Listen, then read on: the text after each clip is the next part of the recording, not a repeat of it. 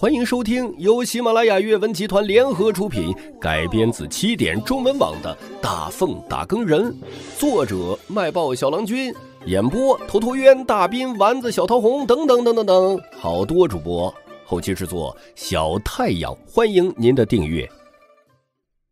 第四百零八集，他是一个怎样的人呢？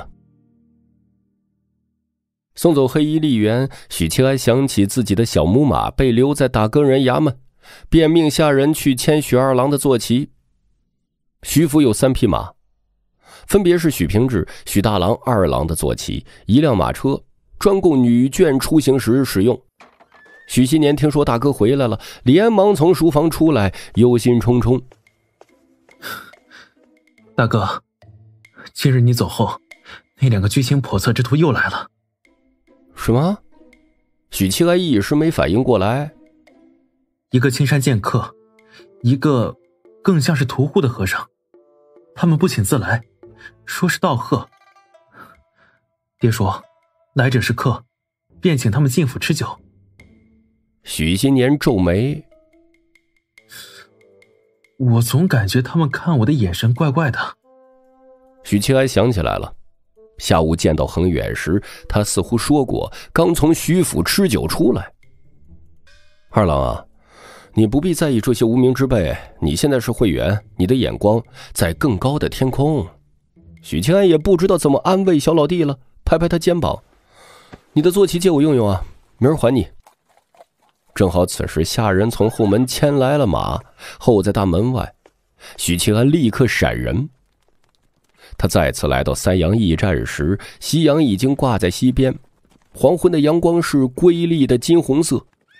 你守门的两个僧人知道自己被欺骗感情了，神色不善的盯着许七安。本官许七安是桑破案的主办官，渡恶大师召我来的，带路吧。许七安笑眯眯的递过缰绳，守门的两位僧人深吸一口气，制怒。一个接过缰绳，一个做出请的手势。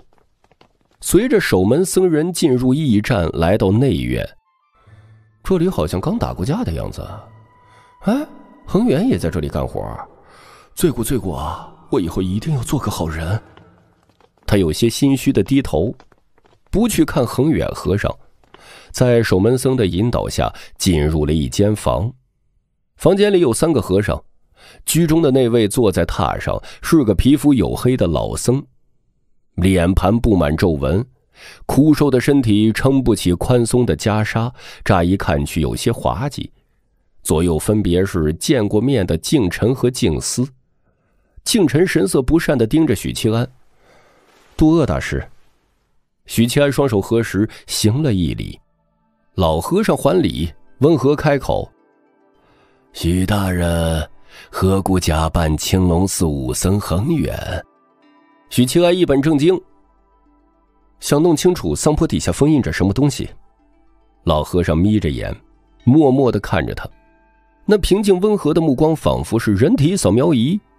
在这个老和尚面前，许七安不敢有任何的内心戏，收敛发散的思绪，不让自己胡思乱想。桑坡案是本官一手查办。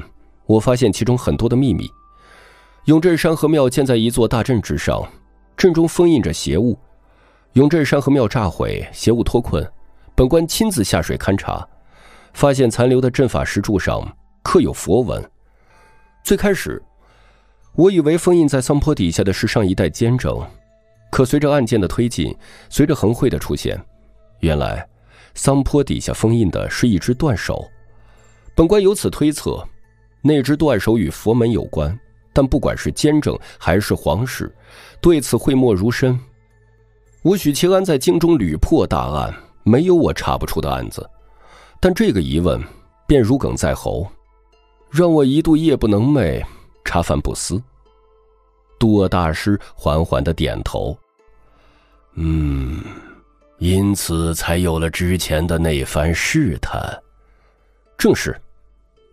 这番说辞，早就在冒充恒远时就已经想好。他把自己伪装成一个执着破案的疯子，对于断手的来历以及背后隐藏的秘密耿耿于怀。于是，在西域使团入京后，假冒恒远来此试探。他的试探也没有毛病，所有问题都是点到即止，没有主动透露关于神书和尚的任何信息，充分的扮演一个只知其一不知其二的主办官。渡恶大师微笑：“许大人想知道关于邪物的信息。”许七安心里一喜，适当的流露出求知欲。大师愿意告知，也无不可，但你得入我佛门，成为贫僧座下弟子。滚犊子！许七安面皮一抽，摇头拒绝。本官修的是武道，无法再修佛门心法。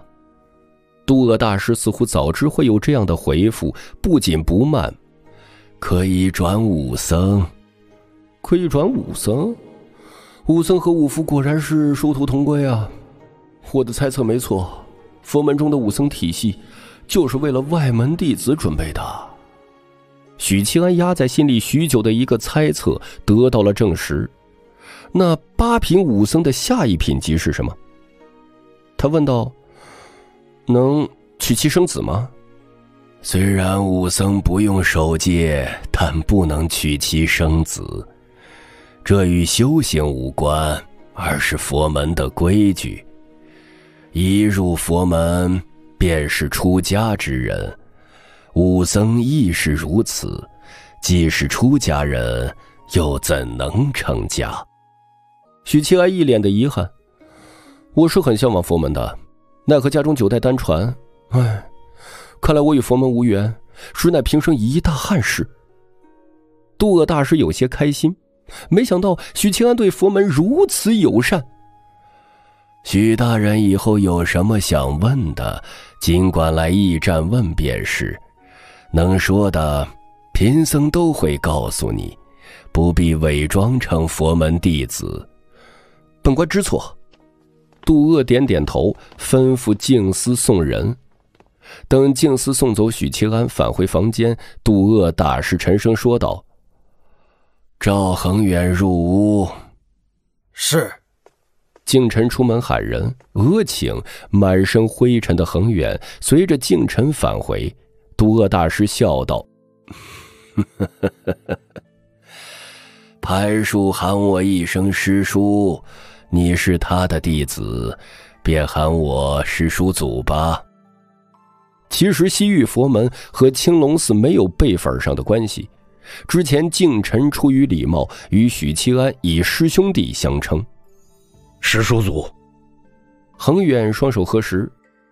渡厄大师颔首，听敬臣说，那银罗许七安自称与你相交莫逆。是的。先前的误会皆因此人而起，你心里不曾有怨言吗？渡厄大师盯着恒远，许大人不管做什么，弟子都可以宽容谅解。他欠三号两条命，欠许七安一条命，这些都是天大的恩情。渡恶再次颔首，嗯，他是一个怎样的人？本集已经播讲完毕，感谢您的收听。更多精彩内容，请在喜马拉雅搜索“头陀渊讲故事”。谢谢。